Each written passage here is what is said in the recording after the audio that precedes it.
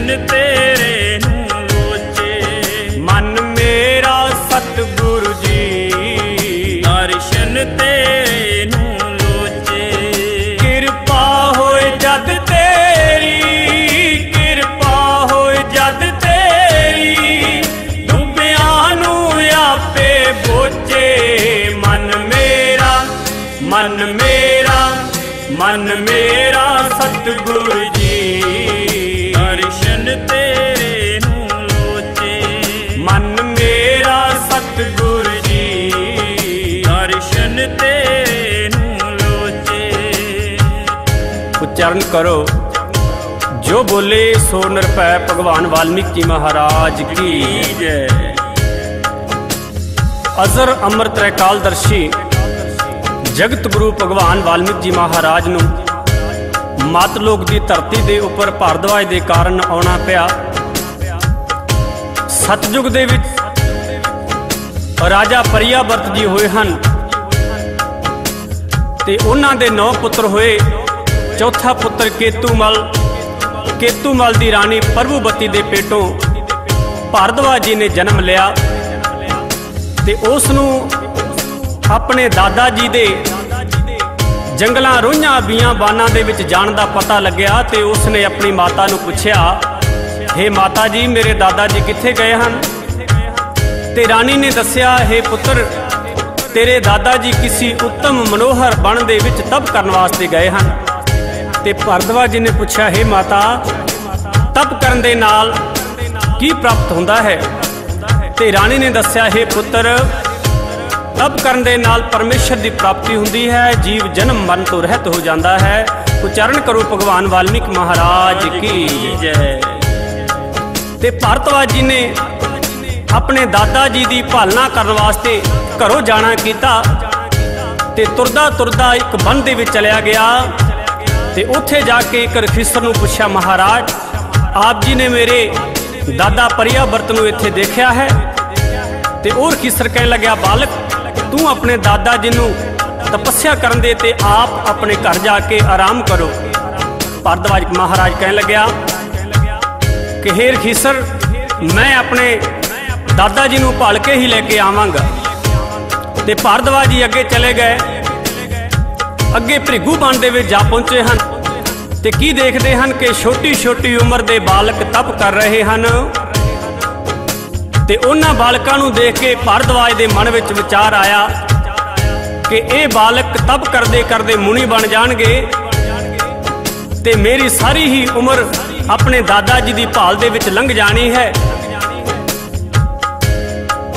ਤੇ ਨਾ ਫਲ ਮਿਲਾ, ਨਾ ਪੇਠਾ, ਨਾ ਬਾਪ ਰਹਾ, ਨਾ ਬੇਟਾ, ਨਾ ਮੇਰੀ ਉਮਰ ਰਹਿਣੀ ਹੈ, ਨਾ ਮੈਥੋਂ ਭਗਤੀ ਹੋਣੀ ਹੈ, ਮੈਨੂੰ ਵੀ ਉਚਿਤ ਹੈ, ਮੈਂ ਵੀ ਭਗਤੀ ਕਰਾਂ। ਤੇ ਭਰਦਵਾਜ ਜੀ ਨੇ ਕੁਟਿਆ ਬਣਾਈ ਤੇ ਕੁਟਿਆ ਦੇ ਵਿੱਚ ਬੈਠ ਗਿਆ। ਉਸ ਬਣਦਾ ਮਾਲਕ ਭ੍ਰਿਗੂ ਦਿਓ। ਸੈਰ ਕਰਦਾ ਕਰਦਾ ਜਦੋਂ ਭਰਦਵਾਜ ਜੀ ਦੇ ਕੋਲ ਆਇਆ, ਤੇ ਉਸ ਨੇ ਦੇਖਿਆ ਜ਼ਰੂਰ ਕਿਸੇ ਉੱਤਮ ਕੁਲ ਦਾ ਬਾਲਕ ਹੈ। ਸਾਧ ਸੰਗਤ ਜੀ, ਉੱਤਮ ਕੁਲ ਕਿਸੇ ਜਾਤ ਦਾ ਵਰਣਨ ਨਹੀਂ ਕੀਤਾ ਕਿਉਂਕਿ ਜਾਤਾਂ ਕੁਲ ਢਾਈ ਹਨ। ਇੱਕ ਜਾਤ ਬੰਦੇ ਦੀ ਹੈ, ਇੱਕ ਜਾਤ ਬੁੜੀ ਦੀ ਹੈ, ਅੱਧੀ ਜਾਤ ਖੁਸਰੇ ਦੀ ਹੈ। ਉਚਾਰਨ ਕਰੋ ਭਗਵਾਨ ਵਾਲਮੀਕ ਜੀ ਮਹਾਰਾਜ ਕੀ ਜੈ। ਉੱਤਮ ਕੁਲ, ਜੋ ਆਪ ਜਿਹਦਾ ਪਿਤਾ, ਦਾਦਾ, ਪੜਦਾਦਾ ਸਾਰੀ ਅੰਸ ਬੰਸ ਪਰਮੇਸ਼ਰ ਦਾ ਜਾਪ ਕਰਦੇ ਹੋਣ, ਉਸ ਨੂੰ ਕਿਹਾ ਗਿਆ ਉੱਤਮ ਕੁਲ। ਮਹਾਪੁਰਸ਼ ਗੁਰਬਾਣੀ ਦੇ ਵਿੱਚ ਉਚਾਰਨ ਕਰਦੇ ਨੇ, ਮਲ ਮੂਤਰ ਰਸਤੇ ਜੰਮਿਆ ਬ੍ਰਾਹਮਣ ਛਤਰੀ ਸ਼ੂਦਰ ਤੇ ਵੈਸ਼, ਤੇ ਫਿਰ ਸ਼ੂਦਰ ਕਿਸ ਨੂੰ ਕਹੇ ਇੱਕੋ ਹੀ ਰਸਤਾ ਹੈ ਜਨਮ ਲੈਣ ਦਾ ਕੋਈ ਵੱਖਰਾ। ਰਸਤਾ ਨਹੀਂ ਹੈ, ਪਰਮੇਸ਼ਰ ਨੇ ਕੋਈ ਨਿਸ਼ਾਨੀ ਨਹੀਂ ਲਾਈ ਹੈ। ਉਚਾਰਨ ਕਰੋ ਭਗਵਾਨ ਵਾਲਮੀਕ ਜੀ ਮਹਾਰਾਜ ਕੀ ਜੈ। ਉੱਤਮ ਕੁਲ ਜੋ ਪਰਮੇਸ਼ਰ ਦਾ ਨਾਮ ਜਪਦੇ ਨੇ, ਉਹਨਾਂ ਨੂੰ ਕਿਹਾ ਗਿਆ ਹੈ।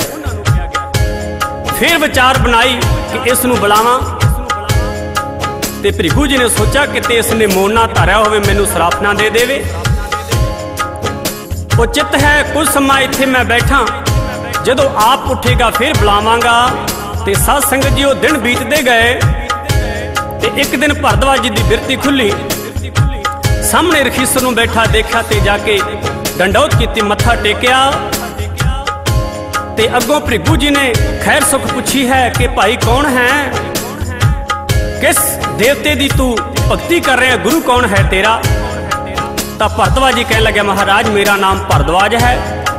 ਕੇਤੂ ਮਲ ਦਾ ਮੈਂ ਲੜਕਾ ਹਾਂ, ਰਾਜੇ ਪਰਿਆ ਵਰਤ ਦਾ ਪੁੱਤਰਾ ਹਾਂ। ਔਰ ਮੈਂ ਹਾਲੇ ਤੱਕ ਗੁਰੂ ਧਾਰਨ ਨਹੀਂ ਕੀਤਾ। ਮੈਂ ਤਾਂ ਸਿੱਧੇ ਪਰਮੇਸ਼ਰ ਦੀ ਬੰਦਗੀ ਕਰ ਰਿਹਾ ਹਾਂ, ਕਿਸੇ ਦੇਵਤੇ ਦੀ ਬੰਦਗੀ ਨਹੀਂ ਕਰ ਰਿਹਾ। ਤੇ ਸਾਧ ਸੰਗਤ ਜੀਓ ਭ੍ਰਿਗੂ ਜੀ ਕਹਿਣ ਲੱਗੇ ਭਾਰਤਵਾਜ ਗੁਰੂ ਧਾਰਨ ਕਰ। ਸਤਿਗੁਰੂ ਗੁਰਬਾਣੀ ਦੇ ਵਿੱਚ ਉਚਾਰਨ ਕਰਦੇ ਨੇ, ਗੁਰਬਿਨ ਕਰ ਲੋ ਭਗਤੀਆਂ, ਕਰ ਲੋ ਲਖ ਅਭਿਆਸ। ਗੁਰੂ ਬਿਨਾ ਨਹੀਂ ਹੋਵਦਾ ਹਿਰਦੇ ਵਿੱਚ ਪ੍ਰਕਾਸ਼। हे ਭਰਦਵਾਜ, ਗੁਰੂ ਧਾਰਨ ਕਰ। ਤਾਂ ਭਰਦਵਾਜ ਜੀ ਕਹਿਣ ਲੱਗੇ, ਤੇ ਫਿਰ ਆਪ ਮੈਨੂੰ ਸੱਚਾ ਸਤਿਗੁਰੂ ਲੱਭ ਕੇ ਦਿਓ। ਭ੍ਰਿਗੂ ਜੀ ਨੇ ਪੁੱਛਿਆ, ਬਾਲਕ, ਕੈਸਾ ਗੁਰੂ ਚਾਹੀਦਾ ਹੈ? ਤੇ ਸਾਧ ਸੰਗਤ ਜੀ, ਧਿਆਨ ਦੇਣਾ। ਭਾਰਦਵਾਜ ਜੀ ਕਹਿਣ ਲੱਗਿਆ, ਮੈਨੂੰ ਗੁਰੂ ਉਹ ਚਾਹੀਦਾ ਹੈ, ਜੋ ਜਨਮ ਮਰਨ ਤੋਂ ਰਹਿਤ ਹੋਵੇ, ਸਰਬ ਘਟਵਾਸੀ ਹੋਵੇ, ਮੁਕਤ ਭੁਗਤ ਕਾ ਦਾਤਾ, ਸਰਬ ਸ਼ਕਤੀਵਾਨ। ਤੇ ਸਾਧ ਸੰਗਤ ਜੀਓ, ਇਹ ਜਨਮ ਮਰਨ ਤੋਂ ਰਹਿਤ ਕੌਣ ਹੈ? ਜਿਸ ਨੂੰ ਆਪਾਂ ਆਮ ਸਿੱਧਾ ਜਾ ਕਹਿ ਦਿੰਦੇ ਹਾਂ ਰੱਬ, ਪਰਮਾਤਮਾ। ਰਹੋ ਵਿਚਾਰ। ਭ੍ਰਿਗੂ ਜੀ ਨੇ ਸੋਚਿਆ ਐਸਾ ਗੁਰੂ ਬ੍ਰਹਮਪੁਰੀ ਵਿੱਚੋਂ ਮਿਲ ਸਕਦਾ ਹੈ। ਆਪਣੇ ਨਾਲ ਲੈ ਕੇ ਬ੍ਰਹਮਪੁਰੀ ਦੇ ਵਿੱਚ ਚਲਿਆ ਗਿਆ। ਤੇ ਅੱਗੇ ਬਰਮਾ ਜੀ ਸਿੰਘਾਸਨ ਤੇ ਬੈਠੇ ਹਨ। ਬਰਮਾ ਜੀ ਨੂੰ ਜਾ ਕੇ ਕਹਿਣ ਲੱਗਿਆ, ਬਰਮਾ ਜੀ, ਇਸ ਭਾਰਦਵਾਜ ਨੇ ਗੁਰੂ ਧਾਰਨ ਕਰਨਾ ਹੈ। ਤੇ ਬਰਮਾ ਜੀ ਨੇ ਵੀ ਪੁੱਛਿਆ, ਭਾਰਦਵਾਜ ਕਿਸ ਨੂੰ ਗੁਰੂ ਧਾਰਨ ਕਰਨਾ ਹੈ? ਇੱਥੇ ਤਾਂ ਅਨੇਕਾਂ ਹੀ ਦੇਵਤੇ ਵਾਸ ਕਰਦੇ ਹਨ। ਤੇ ਸਾਧ ਸੰਗਤ ਜੀਓ, ਭਾਰਦਵਾਜ ਜੀ ਕਹਿਣ ਲੱਗਿਆ, ਮਹਾਰਾਜ, ਜੇਕਰ ਆਪ ਸਰਬ ਵਿਆਪਕ ਹੋ ਸਰਬ ਗੁਣਾ ਭਰਪੂਰ ਹੋ ਸਰਬ ਘਟਵਾਸੀ ਹੋ, ਤਾਂ ਮੈਂ ਆਪ ਨੂੰ ਹੀ ਗੁਰੂ ਧਾਰਨ ਕਰ ਲੈਂਦਾ ਹਾਂ। ਭਰਦਵਾਜ ਜੀ ਦੀ ਗੱਲ ਸੁਣ ਕੇ ਬਰਮਾ ਜੀ ਕਹਿਣ ਲੱਗਿਆ हे ਭਰਦਵਾਜ, ਸਾਡੀ ਉਮਰ ਹੈ, ਸਦਾ ਰਹਿਣ ਵਾਲਾ ਆਦ ਪੁਰਖ ਅਬਨਾਸ਼ੀ ਹੈ ਉਸ ਨੂੰ ਸਵਾਮੀ ਕਿਹਾ ਜਾਂਦਾ ਹੈ। ਉਚਾਰਨ ਕਰੋ ਭਗਵਾਨ ਵਾਲਮੀਕ ਜੀ ਮਹਾਰਾਜ ਕੀ ਜੈ। ਉਸੇ ਵੇਲੇ, ਉਸੇ ਸਥਾਨ ਦੇ ਉੱਪਰ ਵਿਸ਼ਨੂੰ ਜੀ ਔਰ ਸ਼ੰਕਰ ਜੀ ਆ ਗਏ। ਤੇ ਉਹ ਵੀ ਕਹਿਣ ਲੱਗੇ, ਭਾਰਦਵਾਜ, ਸਾਡੀ ਉਮਰ ਹੈ। ਤੇ ਭਾਰਦਵਾਜ ਜੀ ਨੇ ਪੁੱਛਿਆ ਬਰਮਾ ਜੀ, ਤੁਹਾਡੀ ਕਿੰਨੀ ਉਮਰ ਹੈ? ਤੇ ਸਾਧ ਸੰਗਤ ਬਰਮਾ ਜੀ ਕਹਿਣ ਲੱਗੇ ਕਿ ਮੇਰੀ ਉਮਰ 100 ਬਰਸ ਕੀ ਹੈ? ਇਹ ਚਾਰੇ ਯੁੱਗ ਹਜ਼ਾਰ ਵਾਰ ਬਤੀਤ ਹੋਣ ਤਾਂ ਮੇਰਾ ਇੱਕ ਦਿਨ ਖਤਮ ਹੁੰਦਾ ਹੈ। ਇਸ ਕਰਕੇ ਮੇਰੀ ਉਮਰ 100 ਸਾਲ ਦੀ ਹੈ। ਵਿਸ਼ਨੂੰ ਜੀ ਬੋਲੇ, ਭਰਦਵਾਜ਼ ਬਰਮਾ ਜੀ ਦਾ ਹਜ਼ਾਰ ਦਿਨ ਖਤਮ ਹੋਣ ਤੋਂ ਬਾਅਦ ਮੇਰੀ ਇੱਕ ਘੜੀ ਖਤਮ ਹੁੰਦੀ ਹੈ। ਇਸ ਤਰ੍ਹਾਂ ਮੇਰੀ ਵੀ ਉਮਰ 100 ਵਰਸ ਦੀ ਹੈ। ਤੇ ਸ਼ੰਕਰ ਜੀ ਬੋਲੇ, ਭਰਦਵਾਜ਼, ਵਿਸ਼ਨੂੰ ਜੀ ਦੀ 12 ਲੱਖ ਘੜੀ ਬੀਤਣੇ ਪਰ ਮੇਰੀ ਅੱਧੀ ਕਲਾ ਖਤਮ ਹੁੰਦੀ ਹੈ। ਇਸੇ ਤਰ੍ਹਾਂ ਮੇਰੀ ਉਮਰ ਵੀ 100 ਵਰਸ ਦੀ ਹੈ। हे ਭਰਤਵਾਜ, ਸਾਡੀ ਉਮਰ ਹੈ, ਅਸੀਂ ਤਾਂ ਲਿਖੇ ਸਮੇਂ ਤੇ ਮਰ ਜਾਣਾ ਹੈ ਤੇ ਸਦਾ ਰਹਿਣ ਵਾਲਾ ਆਦ ਪੁਰਖ ਅਬਨਾਸ਼ੀ ਹੈ। ਉਹੀ ਜਨਮ ਮਰਨ ਤੋਂ ਰਹਿਤ ਹੈ, ਸਰਬ ਵਿਦਾਤਾ ਹੈ। ਉਚਾਰਨ ਕਰੋ ਭਗਵਾਨ ਵਾਲਮੀਕ ਜੀ ਮਹਾਰਾਜ ਕੀ ਜੈ। ਤੇ ਜੀ ਕਹਿਣ ਲੱਗਿਆ ਤੇ ਮੈਂ ਫਿਰ ਉਸੇ ਹੀ ਆਦ ਪੁਰਖ ਅਬਨਾਸ਼ੀ ਨੂੰ ਗੁਰੂ ਧਾਰਨ ਕਰਨਾ ਹੈ। ਉਸ ਨੇ ਹਟ ਕਰ ਲਿਆ। ਔਰ ਕਹਿਣ ਲੱਗਿਆ, ਜੇਕਰ ਮੈਨੂੰ ਉਹ ਆਦ ਪੁਰਖ ਅਬਨਾਸ਼ੀ ਗੁਰੂ ਨਾ ਮਿਲਿਆ, ਤੇ ਮੈਂ ਆਪਣੇ ਪ੍ਰਾਣ ਤਿਆਗ ਦੇਵਾਂਗਾ। ਦੇਵਤਿਆਂ ਨੇ ਵਿਚਾਰ ਕੀਤੀ ਕਿ ਜੇਕਰ ਇਹ ਬਾਲਕ ਇੱਥੇ ਹੀ ਮਰ ਗਿਆ, ਤੇ ਇਹਦੇ ਮਰਨ ਦਾ ਪਾਪ ਸਾਨੂੰ ਲੱਗ ਜਾਵੇਗਾ। ਤਾਂ ਪਾਰ ਬ੍ਰਹਮ ਪਰਮੇਸ਼ਰ ਨੂੰ ਪ੍ਰਗਟ ਕਰਨ ਵਾਸਤੇ ਦੇਵਤਿਆਂ ਨੇ ਹਮਨ ਕੀਤਾ ਵਿਸ਼ਨੂੰ ਜੀ ਅਹੂਤੀ ਪਾ ਰਹੇ ਨੇ ਜਦੋਂ 16ਵੀਂ ਅਹੂਤੀ ਪਾਈ ਤੇ ਆਕਾਸ਼ਬਾਣੀ ਹੋਈ हे ਵਿਸ਼ਨੂੰ ਦਿਓ, ਹਵਨ ਕਰਨਾ ਬੰਦ ਕਰੋ। ਅਬ ਸਤਜੁਗ ਫਿਰ ਤ੍ਰੇਤਾ ਯੁਗ ਆਵੇਗਾ ਤੇ ਤ੍ਰੇਤਾ ਯੁਗ ਦੇ ਵਿੱਚ ਅਸੀਂ ਭਾਰਦਵਾਜ ਨੂੰ ਆਪਣਾ ਸਿੱਖ ਬਣਾਵਾਂਗੇ। ਤੇ ਜਦੋਂ ਅਸੀਂ ਮਾਤ ਲੋਕ ਦੀ ਧਰਤੀ ਤੇ ਆਏ, ਤੇ ਤੈਨੂੰ ਕਸ਼ਟ ਝਰਨਾ ਪਵੇਗਾ। ਵਿਮਾ ਰਾਮਚੰਦਰ ਅਵਤਾਰ ਧਾਰਨ ਕਰਨਾ ਪਵੇਗਾ ਤੇ ਤੇਰੇ ਜਨਮ ਤੋਂ 10000 ਸਾਲ ਪਹਿਲਾਂ ਅਸੀਂ ਆਦ ਰਮਾਇਣ ਸਾਹਿਬ ਜੀ ਦੀ ਰਚਨਾ ਕਰਾਂਗੇ ਤੇ ਸਾਡੀ ਕਲਮ ਦੇ ਲਿਖੇ ਮੁਤਾਬਕ ਤੈਨੂੰ ਕੌਤਕ ਕਰਨਾ ਪਵੇਗਾ। ਉਚਾਰਨ ਕਰੋ ਭਗਵਾਨ ਵਾਲਮੀਕ ਜੀ ਮਹਾਰਾਜ ਕੀ ਜੈ ਹੋ। ਤੇ ਸਾਧ ਸੰਗਤ ਜੀਓ, ਔਰ ਭਰਦਵਾਜ ਨੂੰ ਆਕਾਸ਼ਬਾਣੀ ਹੋਈ ਕਿ ਤਮਸ਼ਾ ਦੇ ਕਿਨਾਰੇ ਜਾ ਕੇ ਤਪ ਕਰ। ਤੇ ਸਾਧ ਸੰਗਤ ਜੀਓ, ਭ੍ਰਿਗੂ ਦਿਓ। ਭਰਦਵਾਜ ਨੂੰ ਆਪਣੇ ਨਾਲ ਲੈ ਕੇ ਤਮਸ਼ਾ ਨਦੀ ਦੇ ਕਿਨਾਰੇ ਆਏ ਤੇ ਕੁਟਿਆ ਬਣਾ ਕੇ ਵਿੱਚ ਬਿਠਾਲ ਦਿੱਤਾ ਤੇ ਭਰਦਵਾਜ ਪਰਮੇਸ਼ਰ ਦਾ ਸਿਮਰਨ ਕਰਨ ਲੱਗਿਆ।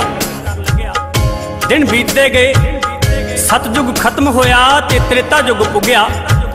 ਤ੍ਰੇਤਾ ਯੁਗ ਦੇ ਵਿੱਚ ਭਰਦਵਾਜ ਜੀ ਦੀ ਬਿਰਤੀ ਖੁੱਲੀ।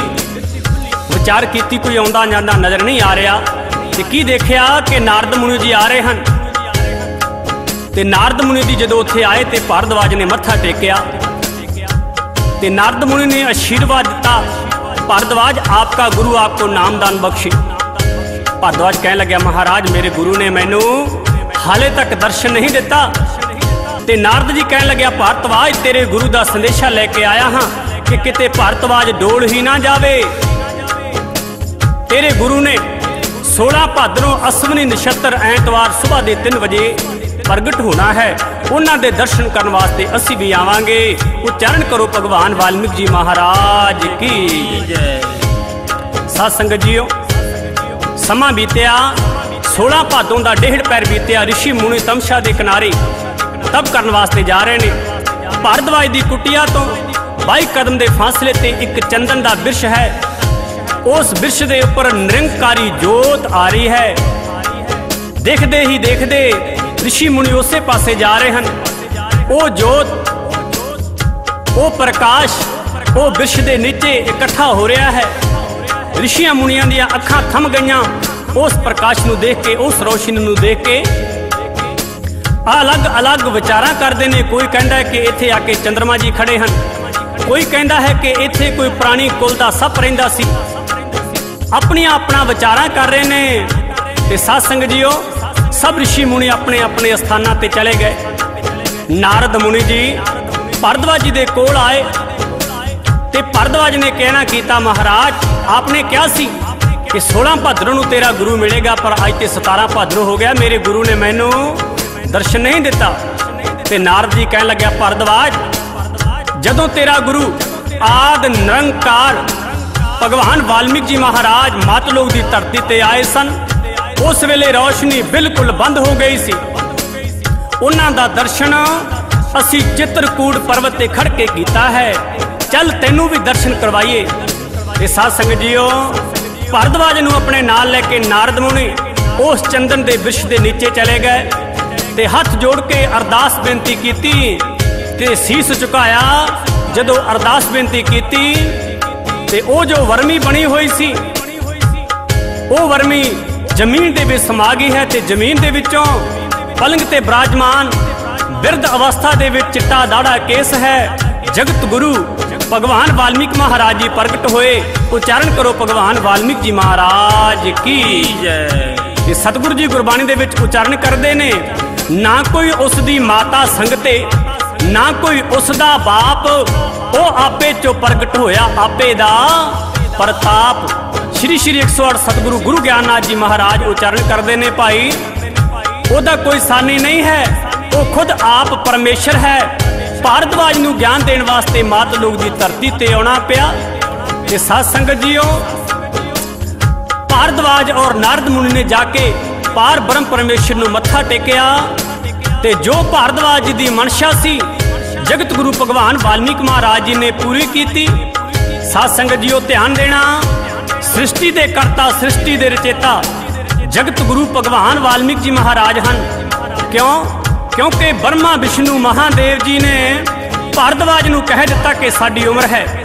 ਤੇ ਹੋਰ ਵੀ ਕਈ ਗ੍ਰੰਥਾਂ ਦੇ ਵਿੱਚ ਵਿਸਥਾਰ ਆਉਂਦਾ ਹੈ ਕਿ ਬਰਮਾ ਵਿਸ਼ਨੂੰ ਮਹਾਦੇਵ ਕਾਲ ਦੇ ਚੱਕਰ ਵਿੱਚ ਆਉਂਦੇ ਹਨ ਤੇ ਭਾਰਦਵਾਜ ਨੂੰ ਉਹਨਾਂ ਨੇ ਤਾਂ ਹੀ ਗਿਆਨ ਨਹੀਂ ਦਿੱਤਾ ਕਿਉਂਕਿ ਭਾਰਦਵਾਜ ਦਾ ਕਹਿਣਾ ਸੀ ਕਿ ਮੈਨੂੰ ਤਾਂ ਗੁਰੂ ਉਹ ਚਾਹੀਦਾ ਹੈ। ਜੋ ਜਨਮ ਮਰਨ ਤੋਂ ਰਹਿਤ ਹੋਵੇ, ਸਰਬ ਕਟਵਾਸੀ, ਮੁਕਤ ਭੁਗਤ ਕਾ ਦਾਤਾ ਹੋਵੇ, ਸਰਬ ਸ਼ਕਤੀਵਾਨ ਹੋਵੇ ਤੇ ਭਾਰਤਵਾਜ ਦੀ ਲਾਜ ਰੱਖਣ ਵਾਸਤੇ ਪਾਰ ਬ੍ਰਹਮ ਪਰਮੇਸ਼ਰ ਨੂੰ ਮਾਤ ਲੋਕ ਦੀ ਧਰਤੀ ਤੇ ਆਉਣਾ ਪਿਆ ਤੇ ਵਾਲਮੀਕ ਨਾਮ ਰਖਵਾਇਆ। ਭਾਰਦਵਾਜ ਨੇ ਸਿਮਰਨ ਕੀਤਾ ਤੇ ਜਗਤ ਗੁਰੂ ਭਗਵਾਨ ਵਾਲਮੀਕ ਮਹਾਰਾਜ ਜੀ ਦਾ ਦਰਸ਼ਨ ਪਾ ਲਿਆ। ਭਾਰਦਵਾਜ ਤੇਰਾ ਨਾਮ ਧਿਆਇਆ ਤਾਂ ਹੀ ਤੇਰਾ ਦਰਸ਼ਨ ਪਾਇਆ ਆਓ, ਸਰਵਣ ਕਰੀਏ ਜੀ। ਹਰ ਦੇਵਾਜ ਤੇਰਾ ਨਾਮ ਤੇ ਆਇਆ ਤੇਰਾ ਦਰਸ਼ਨ ਪਾਇਆ। ਹਰ ਦੇਵਾਜ ਤੇਰਾ ਨਾਮ ਤੇ